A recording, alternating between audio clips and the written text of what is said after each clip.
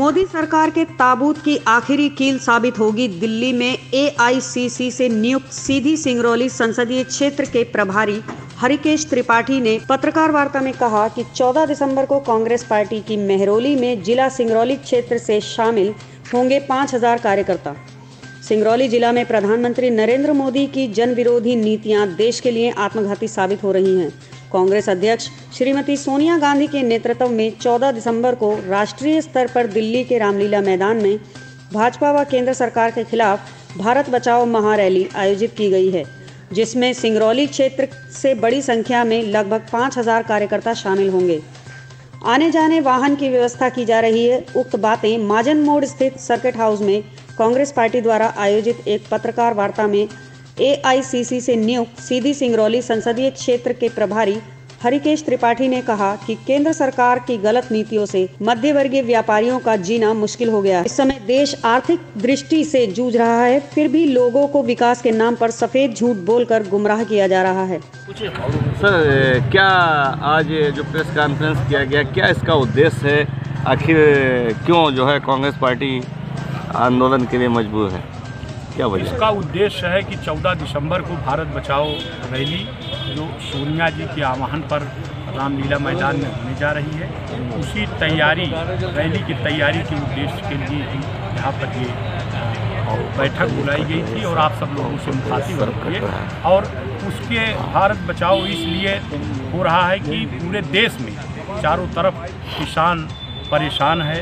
व्यापारी बदहाल है, नौजवान बेरोजगार है और तमाम सा लोकतंत्र की हत्या हो रही है।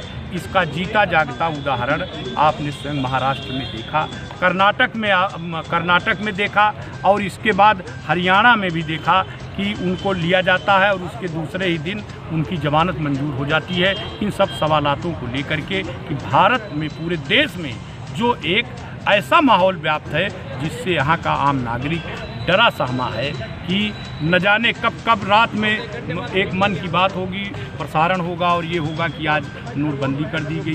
पूरे देश में तबाही आ जाएगी। इन सब सवालों को लेकर के भारत बचाओ आंदोलन के लिए सोनिया जी ने एक आह्वान किया है और उसी आह्वान को लेकर के ये रैली की तैयारी के सिलसिले में अब मेरे सिंगरौली के और सिंधी के सभी कार्यकर्ता पूरी तरह से तैयार है। यहाँ से अनुमान है कि पाँच हज़ार से कम दूरस्थ होने के बावजूद भी यहाँ से इतने कम तादाद में सर, क्या कहेंगे कि जिस तरह से मध्य प्रदेश में कांग्रेस के संगठन को लेके आए दिन सुर्खियाँ मीडिया की बनती हैं तो किस तरह से कांग्रेस अपना बचाव करना चाहती है? बीजेपी लगातार हमले कर रही कि अध्यक्ष तक नहीं बना पाए मध्य प्रदेश में।